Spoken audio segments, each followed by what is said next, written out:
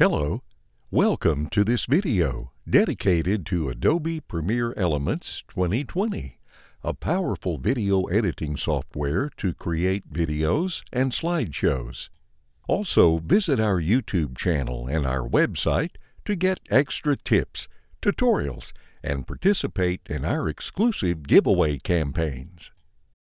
Adobe Premiere Elements is a great solution for beginners and amateurs providing all the tools and templates you need for simple and intermediate video projects.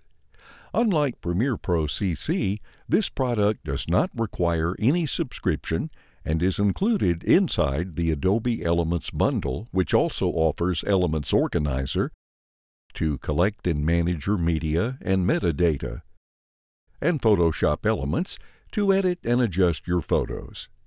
To discover more about Photoshop Elements, check out our dedicated video.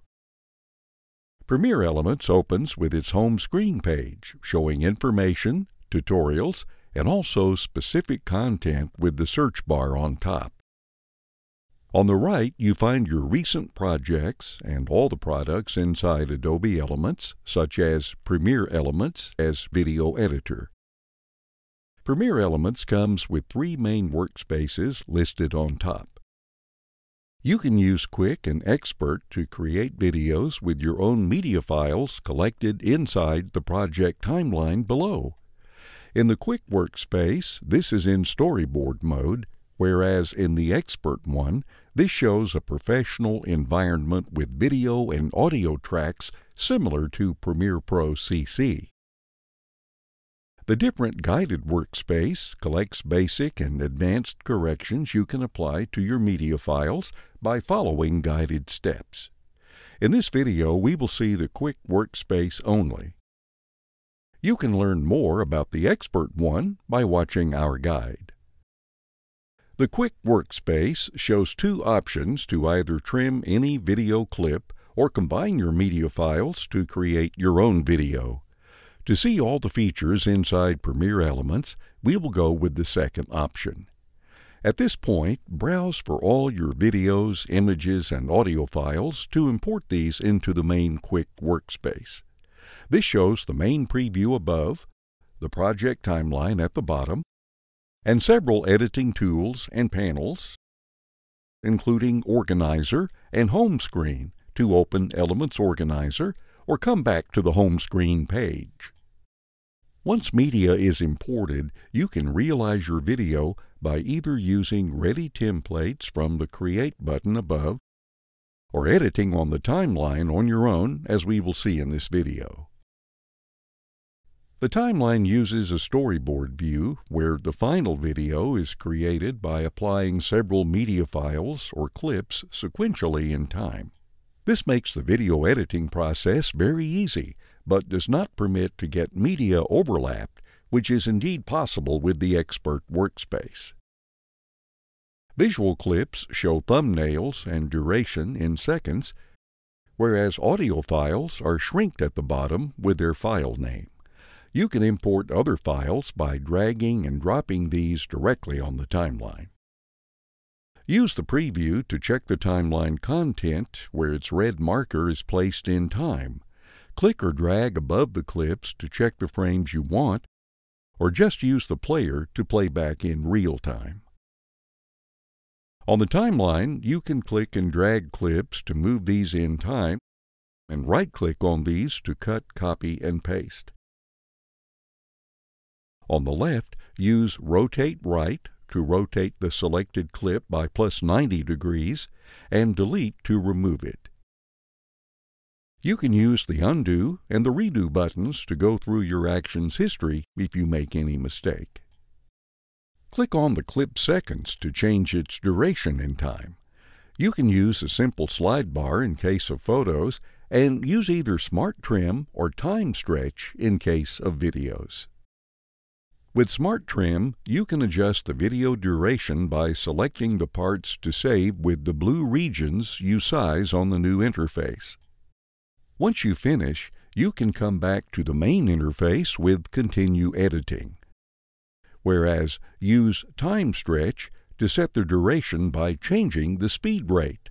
above 100% to increase it, and make the clip shorter or below 100% to extend it with slower speed. The same preview can be used to edit the basic appearance of the clip selected from the timeline. Just click once on the preview to show a blue rectangle that you can use to move, scale, and rotate the clip. You can also apply advanced corrections and effects by using the buttons on the right side. The first one opens the Adjustments panel, used to apply corrections on either the selected clip or the entire project by enabling the Entire Movie button on top. Use SmartFix, Shake Reduction, and Auto Smart Tone to apply quick corrections on color, details, and tones automatically. On the other sections, from color to temperature and tint, you can customize the visual appearance by picking any ready template or using the sliders inside More.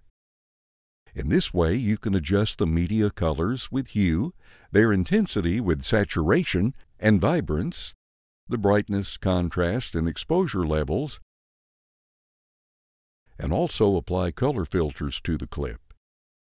Next to each correction, you can use the I button to enable and disable it and check the differences. The second button opens the Tools panel with other advanced adjustments with dedicated interfaces. We're not going to see these.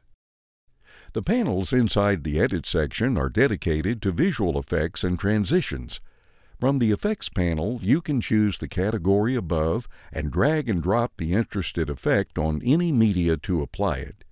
This effect gets listed inside the Applied Effects panel with its properties and options you can edit while checking its result on the preview.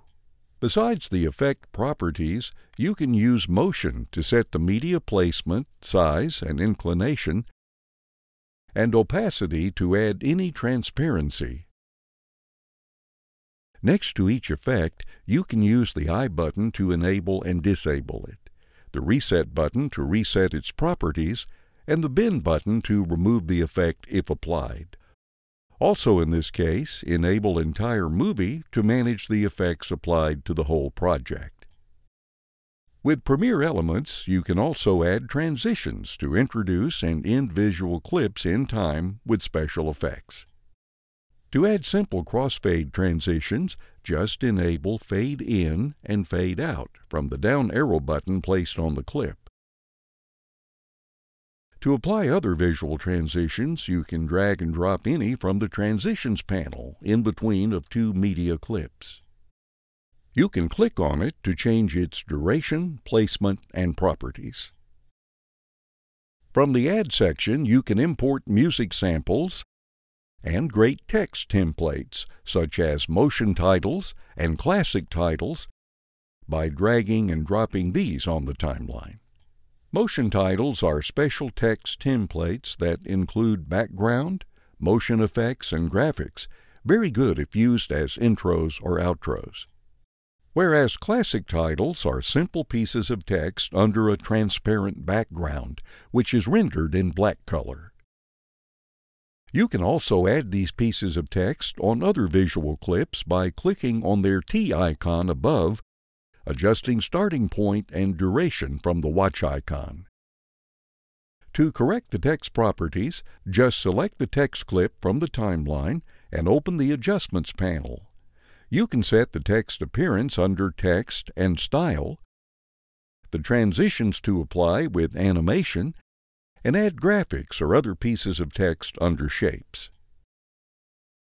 With this panel open, you can hold down the Control key to move, scale, and rotate the piece of text directly on the preview. To type in, just double-click on the text itself. To save your project in progress, go to File and then to Save As. This will be saved in a PREL file with content, options, and properties you can reopen and edit at any time. Whereas if you want to export the video made, just go to Export and Share. Set the video name and destination folder at the bottom and the video properties to use from the sections above, such as Quick Export to export as an MP4 HD video, Device to match several TVs and mobile templates, Disk to burn onto any disk or ISO file, and Online to pick any preset for social websites. Choose audio or image to extract either the audio part or just the current video frame shown on the preview. Thanks for watching this video. Make sure to visit our channel not to lose outstanding guides and extra content.